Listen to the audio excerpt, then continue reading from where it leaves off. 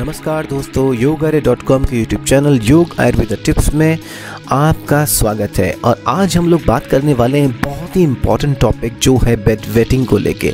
Bed wetting यानी कि बिस्तर गीला करना। ये बेड वेटिंग दोस्तों, सोते समय पेशाब करने की समस्या है जो कि हर दूसरे बच्चे में दिखाई देती है। तीन साल से ऊपर के बच्चों के साथ साथ ये परेशानी कई बार बड़ों में भी मिलती है, जो कि जो कि बड़ी परेशानी का कारण बन जाती है और लज्जित होना पड़ता है बड़ों को इसके कारण। जब गुर्दे यानी कि किडनी सामान्य से अधिक पेशाब बनाने लगते हैं, तभी ये समस्या होती है दोस्तों।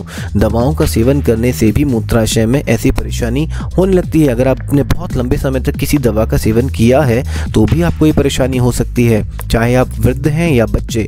तो इसके और भी अन्य कारण हो सकते हैं दोस्तों, जैसे कि आपका स्मॉल यूरिनरी ब्लेडर जो है, आपका जो यूरिन ब्लेडर है वो उसका साइज़ छोटा है और सोते समय पेशाब निकल जाता है।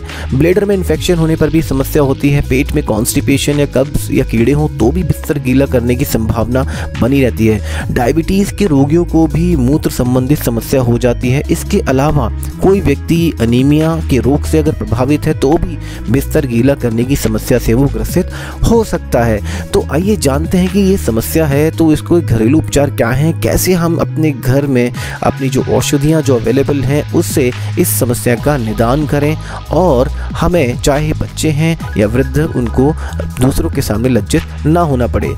तो दोस्तों रात को सोने से पहले एक चम्मच सफ़ेद तिल का सेवन कराने से बच्चा बिस्तर गीला करना बंद कर देता है।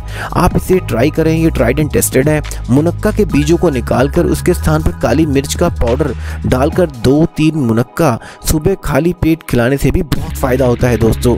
काले तिल का एक चम्मच पाउडर दूध के साथ सेवन कराने से तो बहुत ही उत्तम लाभ होता है। एक अखरोट और कुछ किशमिश का सेवन रोज़ाना अगर कराया जाए तो भी ये समस्या दूर होती है।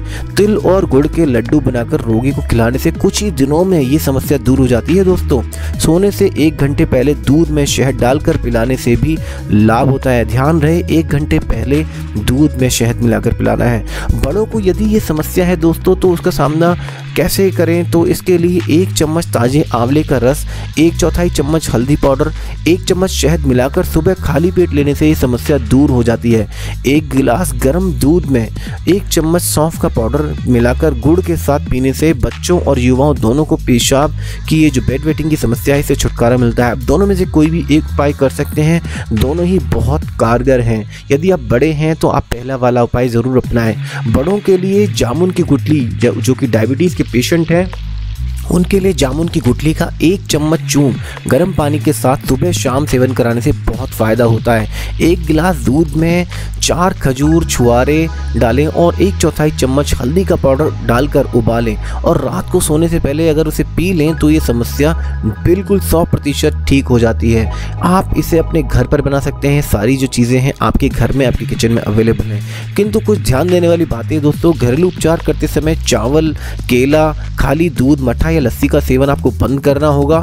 तरल यानी कि लिक्विड पदार्थों का सेवन रात के समय आपको बिल्कुल नहीं करना होगा। बच्चों को रात का भोजन सात से आठ बजे के बीच में खिला दिया अगर समस्या बच्चों के साथ है। सोने से एक घंटे पहले कुछ भी तरल पदार्थ ना लें। रात को बिस्तर गीला करना आपका बिल्कुल बंद हो जाएगा। ये सौ प्रतिशत गारंटी है। तो लाइक करें हमारे इस वीडियो को और सब्सक्राइब करें हमारे चैनल को और शेयर करें इस इन्फॉर्मेशन को अपने दोस्तों